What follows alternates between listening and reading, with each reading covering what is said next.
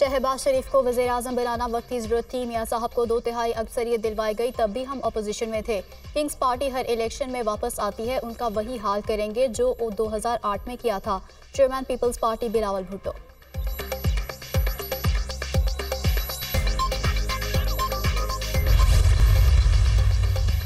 और सबक सूबाई वज़ीर मियाँ असलम इकबाल के भाई मियाँ अमजद इकबाल का पी टी आई से लातालुकी का ऐलान। कहा पी टी आई ने जो रास्ता इख्तियार किया, वो मुल्की तामीर और तरक्की के सख्त मुखालिफ था। मियाँ अमजद इकबाल का P P one seventy one से आज़ाद हैसियत से इलेक्शन में हिस्सा लेने का ऐलान।